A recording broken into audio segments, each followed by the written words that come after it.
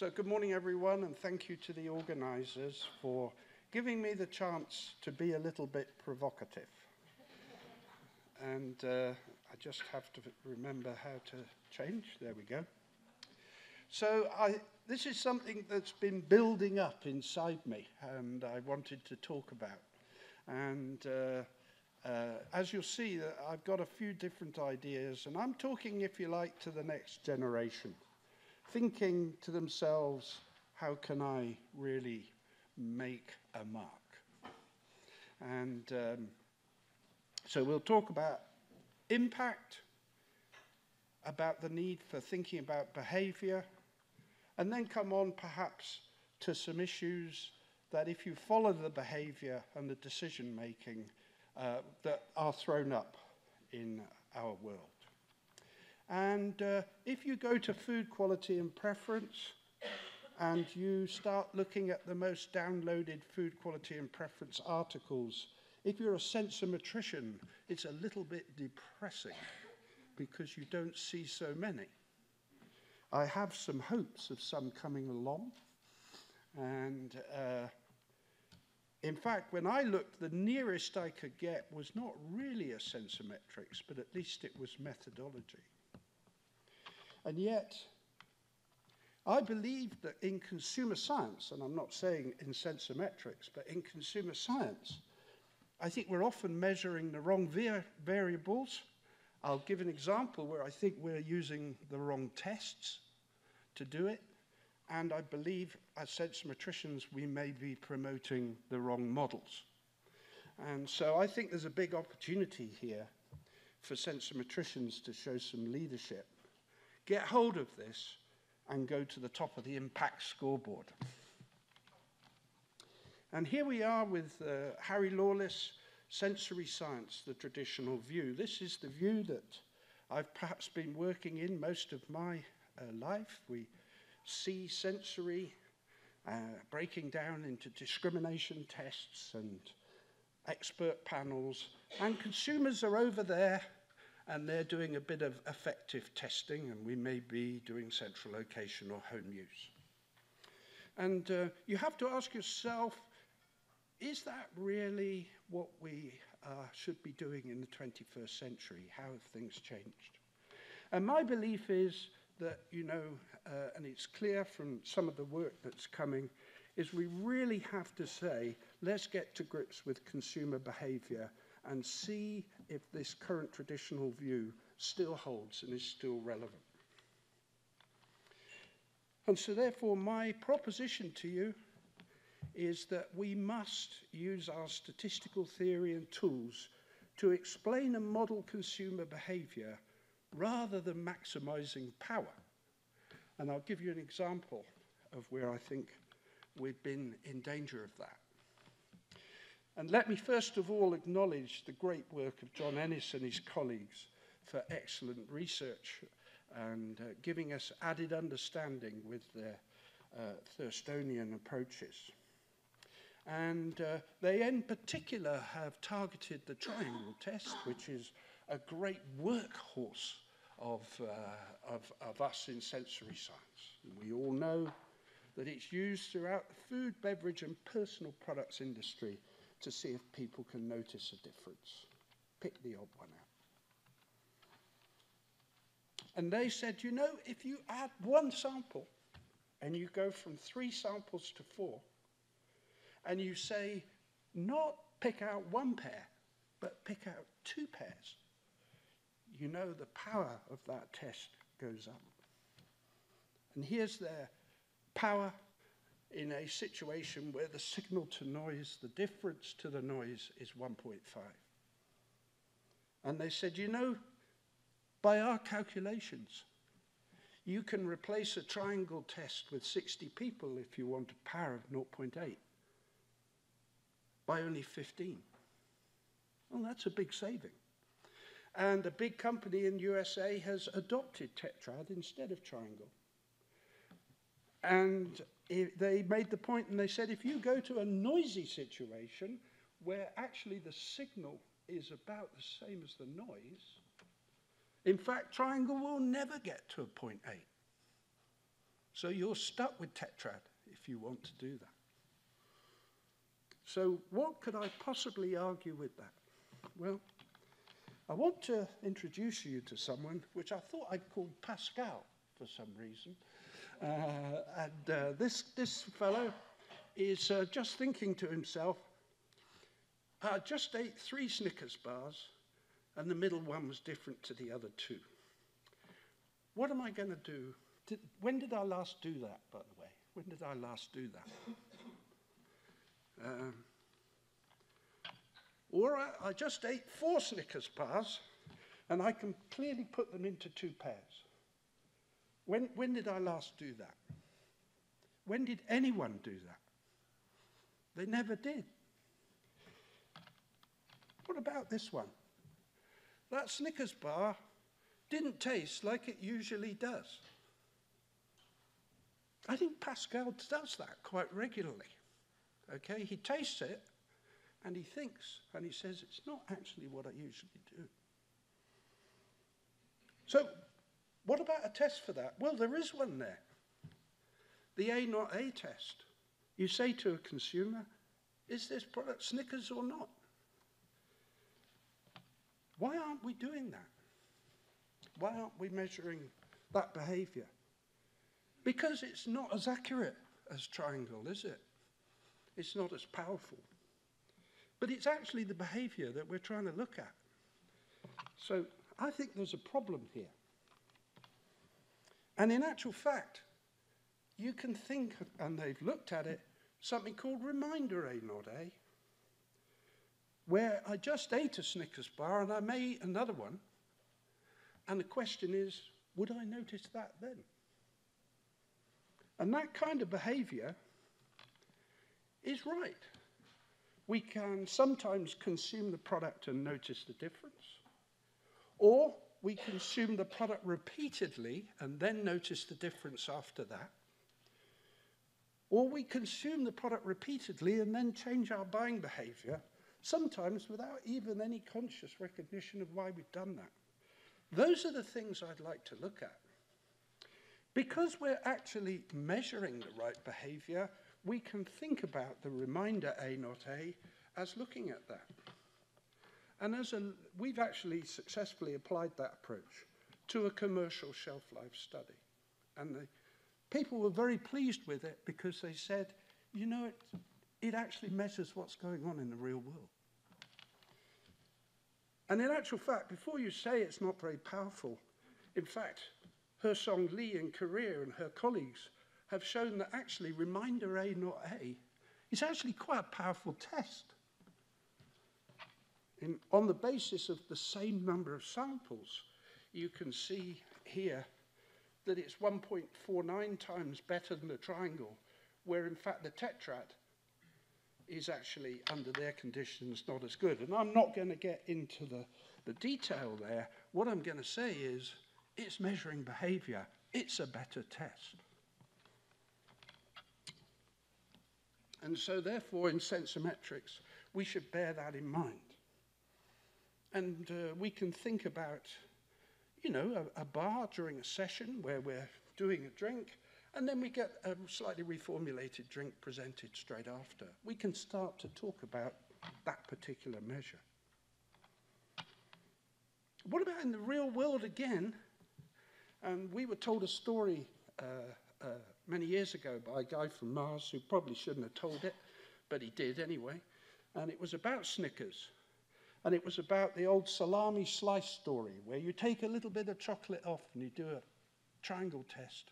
You take it out and there's no difference. So you say, well, let's take a little bit more off. We'll take some more off and we'll put it out again. And nothing happened for six months. And then the sales start to drop. So the truth is, it took six months for the people to actually kind of respond to that. And tell me how that process works, because I don't know. And it seems strange to me that in the 21st century that I don't know how that works.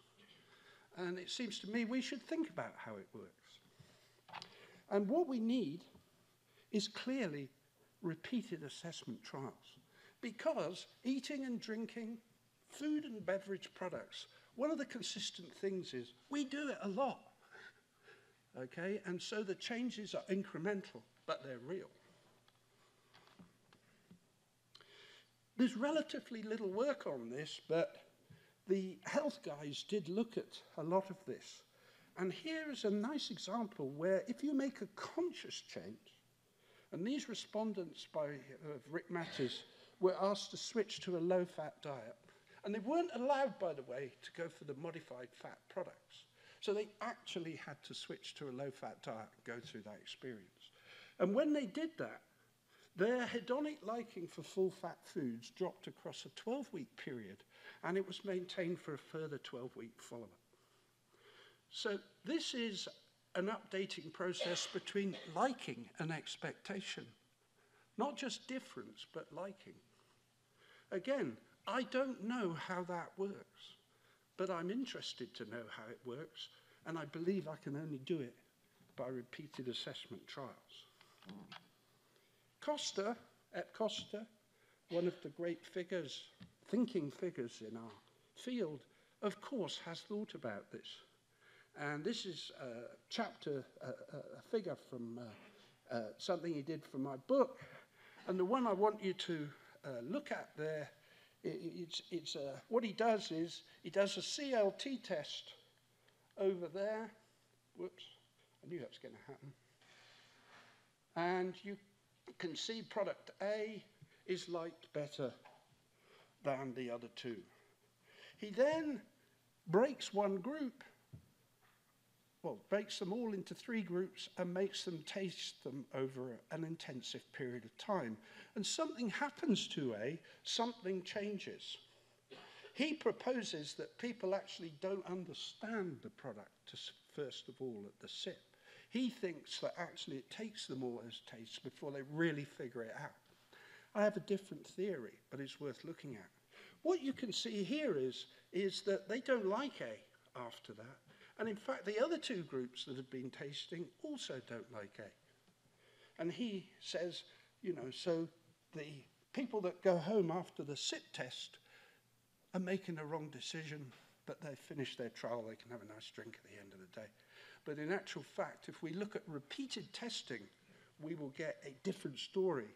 And maybe, he says, we'll stop products being passed by SIP test and failing after two months. So where have I got to? 15 minutes. Uh, we should select the test that measures behavior above power. Repeated assessments on products will give us insight into decision making after reformulation. Here's Pascal again, and let me just have a swipe at a few other techniques, a few other measures. Complete the sentence. I have freely sorted eight products into three groups, and now I'm going to. What? I can't think. What about.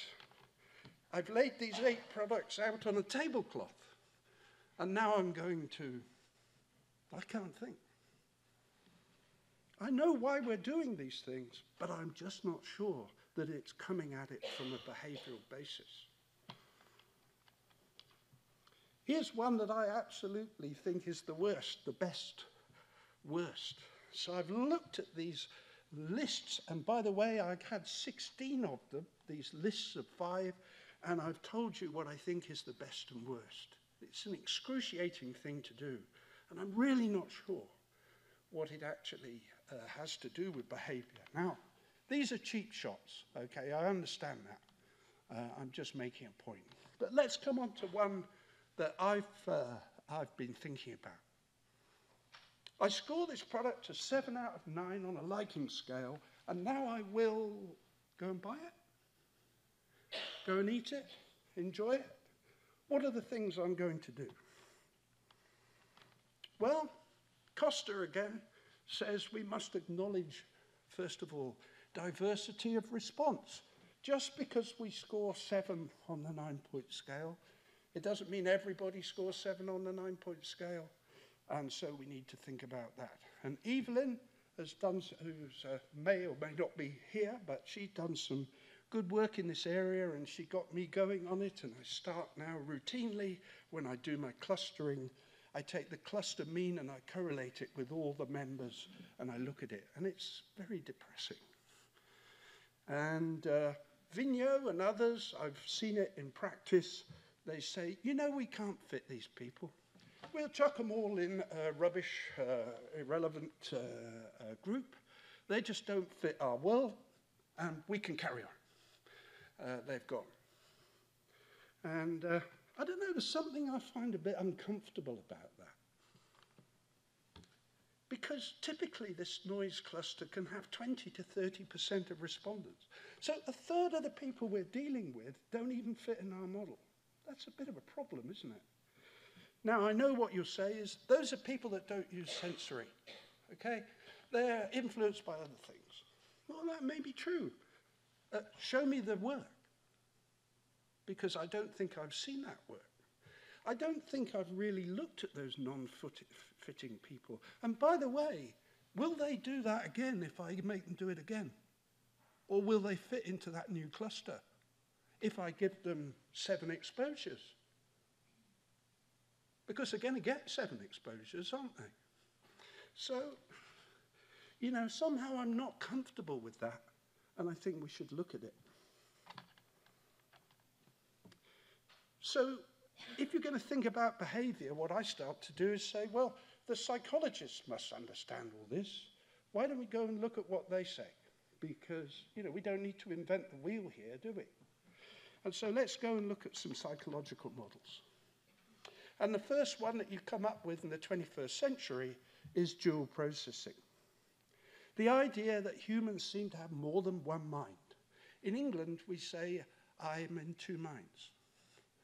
And uh, many people have put forward, and uh, it seems to be now that we think of two general versions of this.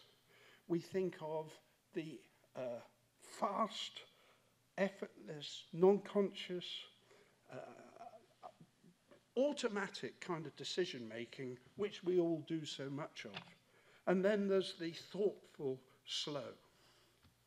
Pascal thinking here about his uh, healthiness, etc., versus that automatic, intuitive choices that we very often make. The fact is, we do both of these things and we should recognize that. And we do both of those things eating the same thing, and we should recognize that. And a certain inconsistency in what we do is part of human behavior, and we should recognize that. He also noted, Kahneman, who's a Nobel Prize winner, let's not argue with that. He called them intuition and reasoning. And he said, You know that the intuition, the system one, is strongly emo uh, uh, uh, emotional bonds are included in that reasoning process. But he said, before you rush off and think that you've got to do all of that measure, it's difficult to change that one. It's much easier to get hold of system two and argue with it and persuade it, and you will get some behavioral change. Plus, system two is in charge. When system one can't handle what's going on, it calls in the thinking. So system two is important. And we saw it, and I'll just tell this briefly. I'm still going okay. We saw uh, this many years ago, and some of you will have heard this story when we were looking. In fact, Nestle was part of the sponsor of that work, a Chocolate Mousse. And we did a trial in which with the clear circles here, we simply asked people how much they liked the product. They didn't have to think very hard. They just had to say instinctively how much they liked the product. And then later on, we gave them another test with the same products, and we made them do jars. And my belief is that to do a just about right score, you've got to think. Okay? And so, with the perhaps the non thinking, we got a product which we would say to the people 100% milk chocolate, no dark, and 9 grams of sweetness. Pretty much, maybe in the UK, what the childhood, the instinctive response might have been at that time. But when we made people think about the ideal point, oh, then we get 25% milk, 75% dark, and no grams of sugar.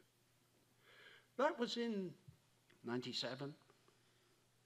Probably the right product to make at that time was the sweet one. But remember, system two dominates. Where's the market gone since then? Well, you go and look on our shelves, and you'll find an awful lot of dark, pretty dry sugar, uh, pretty uh, low sugar chocolate bars. So the conscious is important. Knowing the answer to both those questions is also very important. And, uh, you know, uh, we have, it is true, we want to know the automatic. And if we have elaborate and long questionnaires, we probably are not going to get automatic. I believe that a respondent's going to use both system one and system two in different contexts or even from one tasting to another. And we should understand that. And maybe some of those irrelevant consumers that didn't fit our model are doing that. There is a need for repeated assessment trials. Köster, of course, in his brilliant uh, uh, paper, much quoted, Diversity in the Determinants of Food Choice, has pointed all this out. He doesn't really go with system one, system two. I've talked to him about that. But he says, look, if you make people think, even if you ask the question, system two will go on to alert. And so he's pleaded for us all. And I can see it in the, in the companies I visit in America. I can see them gearing up with behavioral labs, with different equipment to be able to respond without asking. And I'm obviously in favor of that. But don't forget to ask the question. Don't forget actually what the uh, thinking mind would do, because that's the mind you can change. That's the mind that you can argue with. You can't argue with System 1 very well. He's pretty well pre programmed for you. And here's another one called heuristics. And again, Kahneman and other people have gone for this. And uh, heuristics are strategies we all use to deal with problems. And here he gives an example of uh, when you ask someone a difficult question, they answer an easier one instead. So, what proportion of long distance relationships break up within a year? You may answer as if you'd been asked, do any instances of failed long distance relationships come readily to mind? Or, how likely is it that this candidate could be tenured in our department may answer the much easier question how impressive was the talk? Now, again, this is going to be a cheap shot, but what about a consumer science heuristic? Many years ago, we were faced with the question how does repeated consumer experience of consuming or using a new or modified product influence repurchase?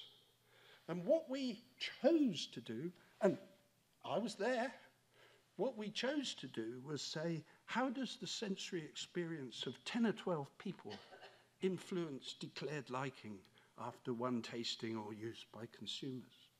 And I believe we've spent a lot of our time answering that question instead of the one at the top. And that's a bit of an issue. And that we should set that right. Well, you say, just a minute though, liking predicts behavior. If people like something, they're going to buy it. Okay, well, let's go and test that. Mike Amani's had a look at that. He got some people to eat some strawberry flavored yogurts. And he then monitored them for a year to determine whether their ratings had any predictive. And what he found was that the highest rated yogurts tended to be purchased. But if you thought there was a relationship between the rank rating and purchase frequency, using a regression, It wasn't there. Tour Moderniste had a look at this. Cured ham, they rated their probability of buying, but then they were given the opportunity to take away. And for ranking and rating, if you took it away, then it was very likely to have been rated as either the best or the next best. There wasn't really a nice regression relationship.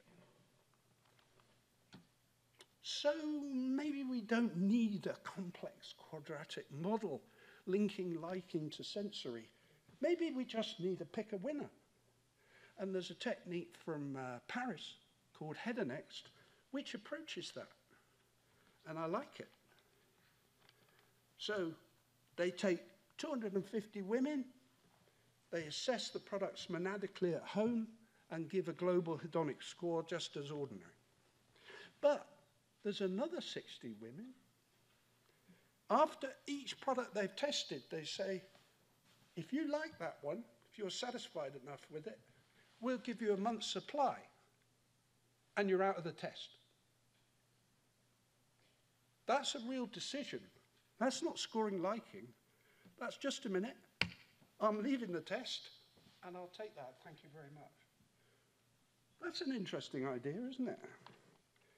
And the results on the left, now I know you can cluster this, but on the left, this is what we find so often, isn't it? Average liking, a flat picture with no discrimination. They're scoring liking. On the right, they've made some choices. Hang on, we've got a winner here. And in fact, the other two winners are part of the clusters that are there. I like the idea of that. Now, marketing people aren't committed to liking. Marketing people are committed to that problem I've talked about, which is behavior. And one of the things we're seeing is marketing people saying, you know, we're just not interested in mean liking. Don't even bother to give it to us because it doesn't tell us anything. All we're interested in is top two box. Because if we look at Mike Amani, if we look at our own stuff, it's the pick winner. Those are the ones that are going to get purchased. So just give us top two. And so we say, okay, we'll do the ANOVAs for the product developers. And yeah, we get a nice set of discrimination. And we do our top three box, and we do a K proportions test, and we get no significance. So we say, look, the best way to do it is look at the average liking because you get the significant difference. And the marketing people say, you know, these guys are just so way out of it. So what we're going to do is we will select the top three box. So we'll select A and B, whereas the product developer has gone away working on G because that was the most liked. So we better have a look at this and figure out what's going on, haven't we? And it's going to change things when we go towards behavior. And here, I could call this, if I wanted, the end of PLS. Okay, but I'm only kidding. But this is a slide from the heuristics guys. And he says, you know, what uh, economists and uh, statisticians think is that you can have this incredibly complicated regression model such that we make infinitesimal changes in sensory, and this causes liking to change and sales go up purchases go up. And he said, they say that's not how it is. People have a whole set of discontinuous, simple ideas that they use to get through life. And you're not going to sort it out with a PLS model. You've got to come back and you've got to look at decisions, like one reason decision making. People only, they're not going to do much. They will just look at one thing and make their mind up. Or they go for take the best. If that's the case, then we should be thinking about that. And so here we are. We have preference mapping we're still comfortable with, we know how to do, versus take the best. And we ought to move over and have a look and see what's going on. So there's a little bit of where I've got to. Okay, let's uh, ask you a question. I'm okay. Which US city has more inhabitants, San Diego or San Antonio? Think about that. Let me tell you that the Americans only get that correct 62% of the time, where the Germans get it right 100% of the time. Now, that's strange, isn't it? Why should that be? Well, the heuristics people say it's because the Germans actually haven't heard of San Antonio. They've only really heard of San Diego. And this is the recognition heuristic when deciding which of two objects is greater on some criterion. If one object is recognized and the other is not, then we infer that the recognized object has the higher value, whatever that is. Whatever that is population, eating quality, you know, nutritional value. And so, of course, brands are there. It's very disappointing when that's such a crucial heuristic that we do so few trials on these blind products. Maybe, again, those irrelevant consumers, maybe they're the ones that use the recognition heuristic. I don't know. Sensory researchers are starting to use these models without our assistance. So de Graaf is looking at sensory, he's looking at package, he's uh, putting it through uh, an emotional block and, and measuring food choice to see what goes on. And he, he shows some rather strange models at the end where he can actually say, you know, if people, uh, uh, they come to rank one, then I can get 40% of uh, people modeled. It doesn't seem a very good model to me that you can only explain 40%. And I know that we need better models. Now, my final one is Charles Spence, a brilliant psychological uh, uh, professor at the University of Oxford. I've looked at his uh, uh, publication record and he publishes in the absolute top quality sensory perception uh, uh, places. And I said to him, Come on, Charles, I want you to tell me the basis of sensory perception here. And he said, Well, if you really press me, he said, it's attention. Whether you are paying attention to the signals that are going past you or not. and he kind of gave me this, but I made it up myself. Let's take a couple of examples here. We've got two coffees. And if we pay attention, if we pay attention, we can see the difference between those coffees. But in the real world, and Kahneman says, if you're in a good mood or you're busy, then you have a pretty broad expectation space that you can work in. And you won't see any difference. You're not going to remark on those things at all. I find this a slightly more, uh, shall I say, uh, easier to swallow theory than the Ennis wandering ideal point, which strikes me as a, a, bit wild, but I'm willing to be persuaded otherwise. And if you're not in a good mood or you are paying attention, yes, you will see the difference. Yes, you will give a different score. And we know that our attention may well vary through doing a CLT, through doing other things. So there are very good models out there to explain what's going on if we actually listen to them. And so here's Pascal now beginning to worry about why he actually selected that brand of coffee again. And we want to try and explain that. And I don't know the models. All I'm listing is some of the things I believe we need to build into models. And I hope some of you will do it. I'm intending to uh, give up my teaching for a year and have a go at some of them anyway, but it's a massive thing. What I do believe is that repeated measurement will be at the heart of that experimental to understand what's going on. And that natural behavior, as far as possible, will be something.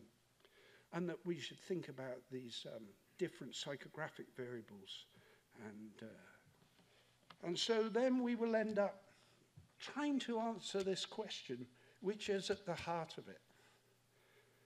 Not the one that I think we've been trying to answer with a 30% bundle of irrelevant consumers at the end of it. So, thank you very much.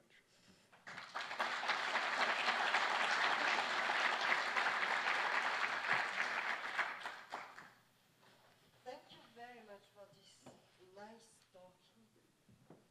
I think that they love to be provocated, you know. And I think that they have a lot of questions, maybe interrogations. Well, we do have an opportunity later on at the round table as well. So, So you have time for questions, front? As a psychologist by training, I like your dual process model. Could you talk a little bit about the measurement of implicit measures and any thoughts you have on that? Because they're notoriously hard to measure. That's right, uh, but- but uh, that's the experimental psychologist's uh, solution, isn't it, to, uh, to look at that.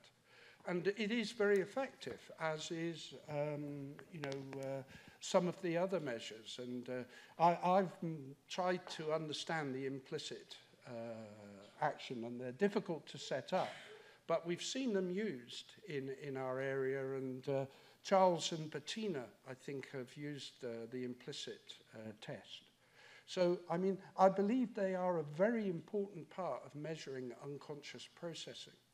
And as I say, I believe that we uh, are going to have a lot of important information coming in. What I'm worried, if you like, is that the big race to go for the unconscious measurement, we're going to forget the conscious bit as well. And that we should bear in, that in mind. And, you know, there's a, a story that somebody tells, I think it was, uh, uh, I haven't got time to go through it, but the, the, the, the bottom line was if you wanted, there's lots of different models of behavior, but at the end of the day, the psychologist said, I'll go down and ask them what they're doing. And we can't not do that. And, and I think we've been guilty of asking people too much and thinking that that was going to explain behavior. It's not. But if we go to unconscious, it's also not going to explain it. but that's an important tool in our, uh, in our armament.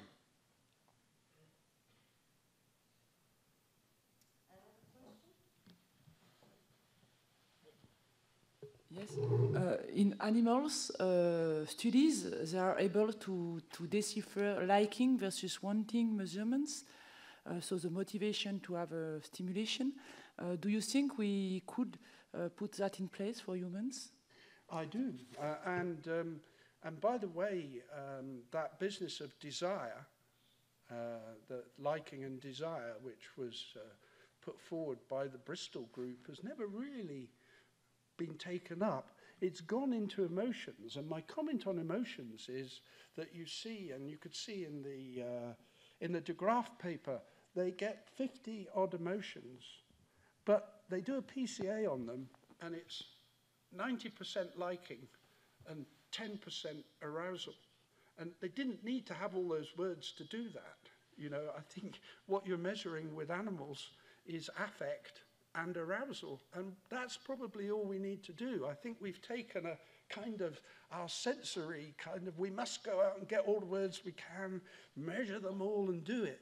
Whereas I think psychologists would come in and say, well, why are you doing that? When, when it all comes down to two dimensions and you can measure those things quite easily. I am being provocative, sorry.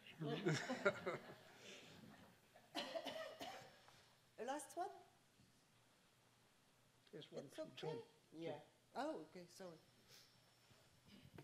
Hal, thanks for the provocative talk. I just wanted to ask you, um, often product developers, they're looking for guidance in terms of how to reformulate a product.